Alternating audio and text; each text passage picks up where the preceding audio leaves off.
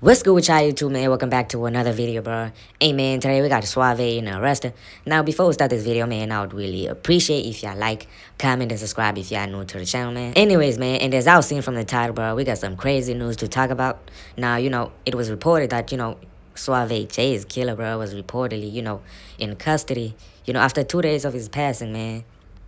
So I guess, man, this guy was reportedly paid, you know, like $10,000 to take off, you know, um, Swavy, man, because as the looks of it, man, this guy does not look, you know, like Swavy's friend, man. This looks like a grown man, bro. But anyways, y'all, man.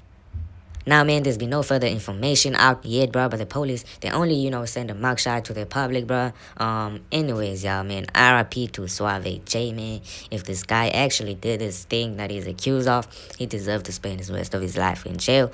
I'm pretty sure you guys would also agree with me, man. Anyways, y'all, I want y'all to comment what y'all think of the situation, man.